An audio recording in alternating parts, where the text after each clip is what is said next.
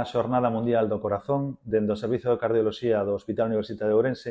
queremos facer eh, chegar a, bueno, pues a poboación unha serie de consellos eh, para tentar cuidar mellor o noso corazón e eh, chegar a unhas idades avanzadas na mellor condición cardiovascular posible. As enfermedades cardiovasculares seguen a ser hoxe en día a principal causa de mortalidade no noso medio, eh, están afectando sobre todo a xente de, de maioridade idade, eso é un mérito eh, da, da saúde pública, non? que conseguimos pois controlar a maioría dos factores de risco que conlevan o desenrolo destas enfermidades, eh, pero sí que temos que facer fincapé pois na, no, no Consello e na prevención. Nos como médicos o que sempre adoitamos é de conseguir previr antes de ter que curar, porque é eh, sinal de que eh, algo fallou no, no, no desenrolo e no cuidado do, do doente, eh, bueno, o que queremos facer, pois pues, iso, fincapé, pois no cuidado de a prevención de factores de risco como a hipertensión, eh, no, no exceso de colesterol na dieta, da falta de exercicio físico,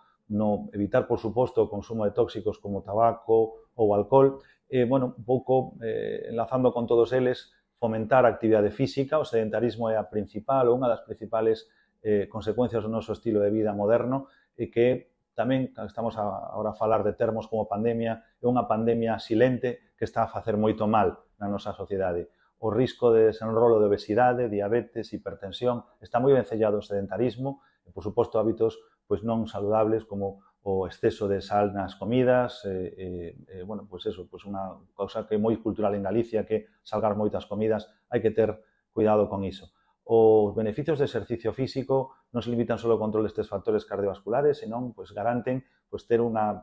unha terceira idade moito máis saludable, moito máis eh, eh, con moitas máis posibilidades de, de, de unha vida pois eh, plena, con, evitando pois a fragilidade ou, ou retrasando o desenrolo de problemas cognitivos. Dende aquí pois queremos eso, eh, desexar a todos os nosos eh, doentes, eh, eh, bueno, pois a, a poboación en xeral unha moi saludable eh, día do corazón. Moitas gracias.